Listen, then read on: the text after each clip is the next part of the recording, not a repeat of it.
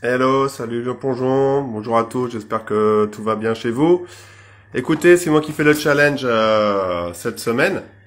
Euh, on va changer un peu, euh, on va sortir du physique et on, on va s'amuser un peu. Voilà, l'idée, c'est d'aller le plus vite.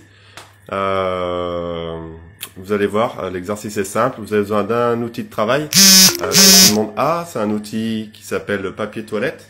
Voilà. Si vous l'avez pas, ben ça craint quand même, mais bon, j'espère que, que tout le monde en a un chez lui. Euh, je vais vous montrer euh, l'exercice. Euh, c'est tout bête. Euh, Peut-être que certains l'ont déjà vu sur le net, ça tourne un peu en ce moment. Voilà, en tout cas, bah, je le fais.